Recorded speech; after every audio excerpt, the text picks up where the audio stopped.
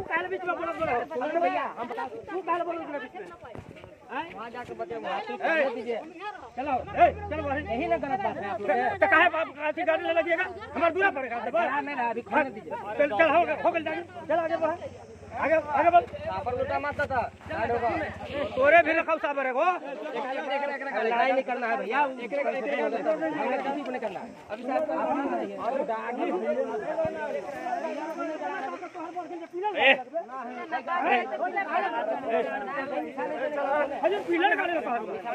Pillar गाड़ी रखा pillar गाड़ी नहीं नहीं कौन को पिलर लाओ पिलर लाओ नहीं ऐसे जाके तो चलो चलो आगे वहीं चलो निशानी नहीं दिया रहा हाँ। बोले कि देख रहे हैं।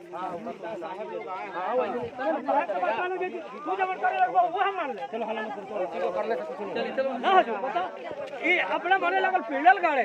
दागे मारे पिलर मत गाड़िए बे फ़ैन होगा नहीं तो कैसे आप पिलर दीजिएगा। अब वही बोल ज़बरदस्ती कर राजा से ले बड़ा राजा के पहले बड़ा होने दीजिए उसके बाद बताइए। नहीं उसके बाद नहीं कि लगा रहा है चुप रहो लग रहा है पिलर अभी ना काटा हाँ सब चुप